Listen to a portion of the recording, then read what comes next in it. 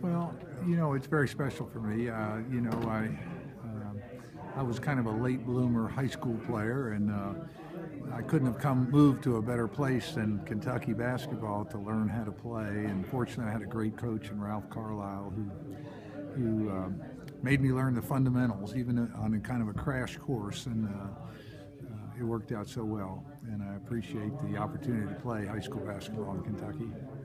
When, when you talk about Coach Carlisle, I mean, what uh, are there things that you learned from him that helped you on through not just college, but when you got to the pros? Yeah, coach, he was such a great teacher, and he emphasized all the important things about basketball: field goal percentage, taking care of the basketball, playing defense, and and he demanded it too. And uh, so uh, I think at the formative age, he was the perfect coach for a high school player.